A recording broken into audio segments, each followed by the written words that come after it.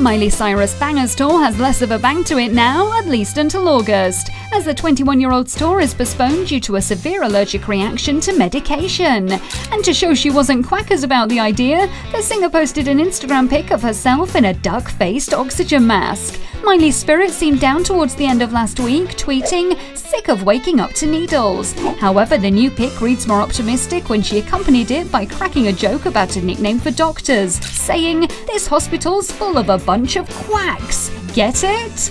A rep posted to her website that she's to remain in hospital for an indeterminate amount of time under doctor's care following a severe allergic reaction to the antibiotic drug cephalexin, which was prescribed to her for a sinus infection. The recovery time for that kind of thing can be anything from 5 to 27 days.